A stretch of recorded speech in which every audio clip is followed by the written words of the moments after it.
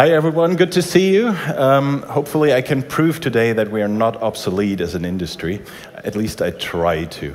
Um, creating products that people love, that is kind of the main topic here today. Um, there are a lot of discussions going on. And personally, that's what I'm taking care of or spending my time on at Audi, creating digital products that have a value and become magnetic to people so that they like to use them. And I've been here last year, and my talk was about the extra hour. So the extra hour, we use this term basically to, um, yeah, frame our activities around piloted driving, autonomous driving. And uh, you see in this term already that it's not about the technology, it's more about the freedom we give the people. Because on average, um, in the Western world, people spend one hour per day in a car.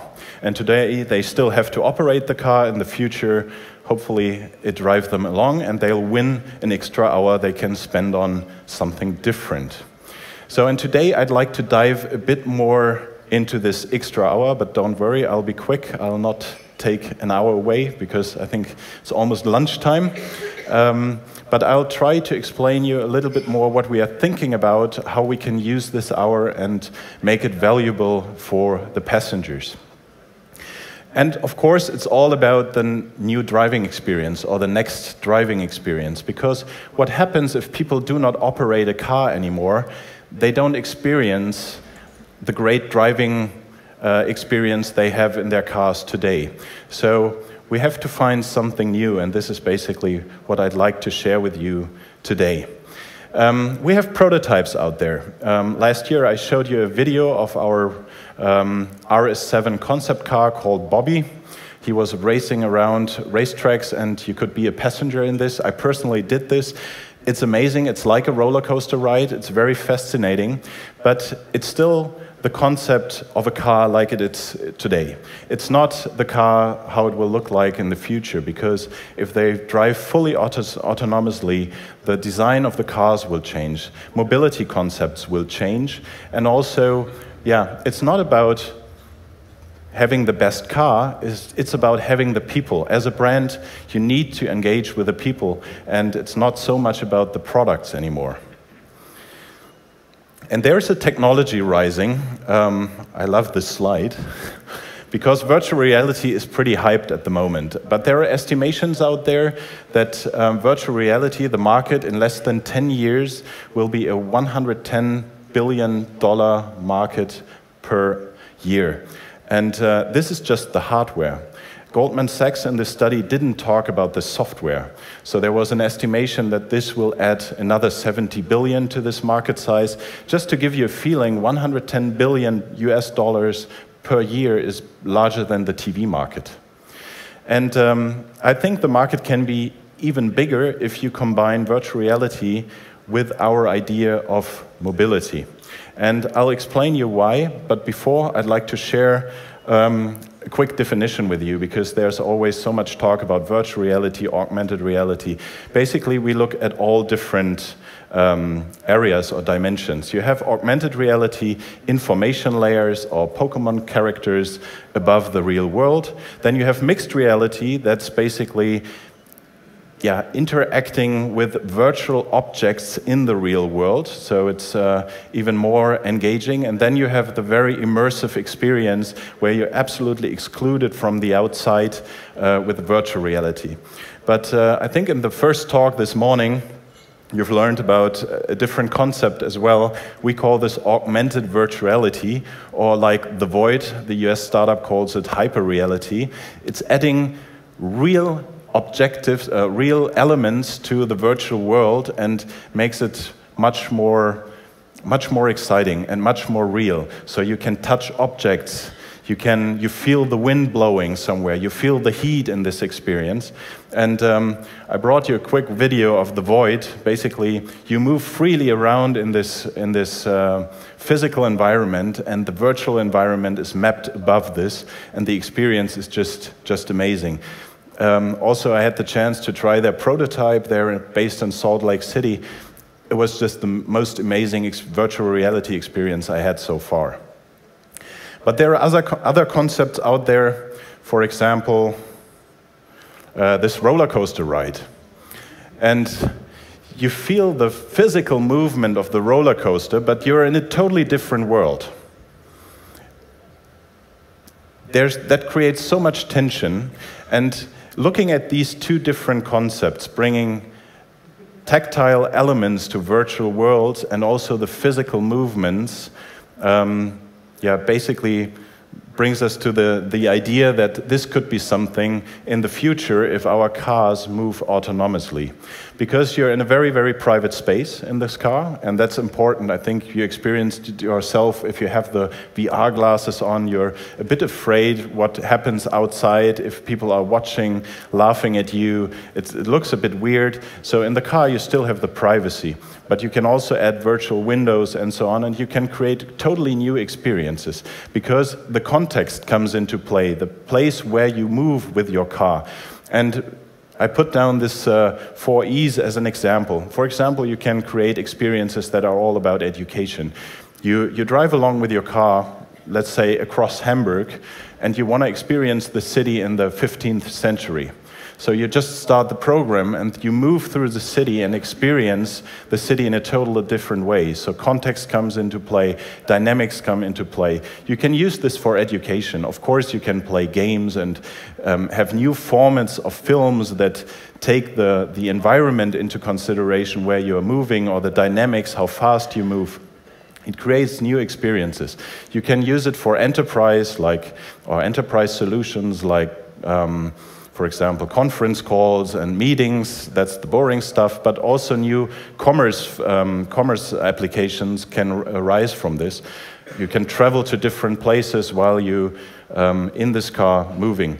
So there are many, many thoughts how virtual reality and autonomous cars can come together and create whole new experience. And to exaggerate a little bit, maybe it's from the shift from driving experiences that we all experience today, more to experience driving.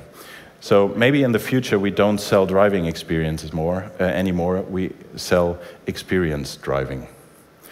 And um, yeah, Brian Solis had a great quote out there. He said, It doesn't matter that AR and VR is right around the corner. It's what you're going to do within those environments that are going to be fantastic, fantastic, experiential, and game changing. And Brian, I'm very much looking forward to your talk in a couple of minutes. But I think that makes pretty clear, even though our claim is Vorsprung durch Technik, um, for us it's all about the experience and what you do with this technology and how it can benefit the people. So hopefully we won't become obsolete. Um, if you look at three different areas IoT, connected car, artificial intelligence for autonomous driving, and VR technology coming um, together, um, we, we think about something, a new category, saying virtual mobility. Because if these things come together, maybe one day physically driving from A to B becomes obsolete and you create whole new experiences. And it's just about the new meaning you create um, in, in this field of mobility that is basically just virtually one day or could be, um, just to, to sparkle some new ideas. And of course, uh, new businesses will arise from this. Still, it sounds like science fiction and it's still far away the road, or it might come differently. But still, it's important for car manufacturers to look at all these areas. And with piloted driving, we have a technology at hand that is quite. Uh, quite exciting. Um, connected cars add, or the connected environment adds a lot of value, and adding VR to it, we might see a new and different category called VR, uh, V mobility. Sorry. Um, but VR for Audi is no science fiction anymore. We are currently starting rolling out um, um, VR glasses to our dealerships that they can, uh, together with their customers, configure cars and experience the cars in a more or less real environment, how they will look like at the end. You can sit there, look at the interior, but our advanced setup also allows you that you walk virtually, walk around the car, standing right in front of you. You can change the colors, you can change the rims, everything, so that the customer can see his dream, dream Audi even before he orders it. And um, we also defined a new credo at Audi. Everyone knows mobile first, but in our content production, we shift towards VR first. what does this mean? We create dynamic environments, 3D environments where you can freely move. Or you can make an extract from this and just have a static VR experience. But once you set up all these environments, all these different stages, you can derive all the different media from this 360 videos, 3D videos, films, and even a simple picture. And uh, to give you a little bit more insight how this looks like, um, I mean, this conference is, uh, is, called Next. So I brought you a little world premiere. It's not a car, it's our um, first glimpse on one of the experiences we are planning right now. And please have a look. For Audi, virtual reality is very real. We're ready to use this technology to profoundly enrich our sales process by taking people on a journey to the universe of options and giving them the opportunity to explore what we build for them. Today, it's at the dealer, at Audi locations, at events, and people seem to like it.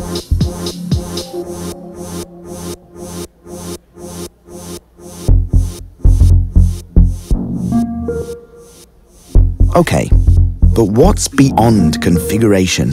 What's next?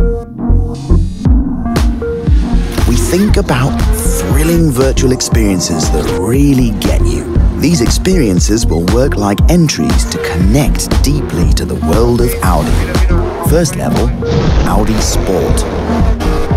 This is the scenery of the world's most famous endurance race, Le Mans users can move freely all over the place and explore whatever they like. Say hello to the drivers. Have a look at the crew. And of course, you can inspect the race car before you configure your own.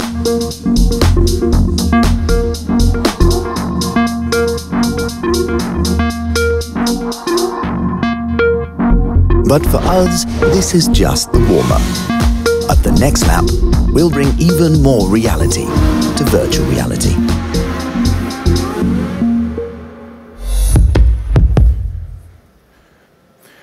So basically, our team went to Le Mans, filmed um, the different, or captured the different um, sceneries, and uh, the car, of course, and also our crew.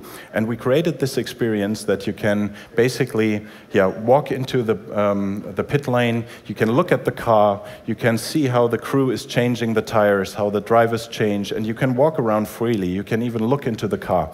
And um, yeah, two of my colleagues worked um, quite hard to make it ready for today, or have the prototype ready for today. So thanks, Marcus and Thomas. Um, they spent a lot of uh, time working on this. And we built up this prototype for you at the NEO.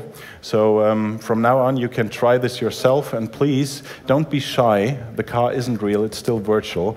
But go there, have a look, um, go close to the car, close to the driver, and experience this yourself because it, it's just an amazing experience. And for us, this is one of the cinematics we are doing in the virtual reality environment to, to really get some excitement before the configuration process starts. So even today, we are working a lot on virtual reality, and in the future, we might see something like V-mobility, and I'm happy to share your thoughts on this and your ideas, and please give me some feedback how you experienced the prototype as well. So thank you very much.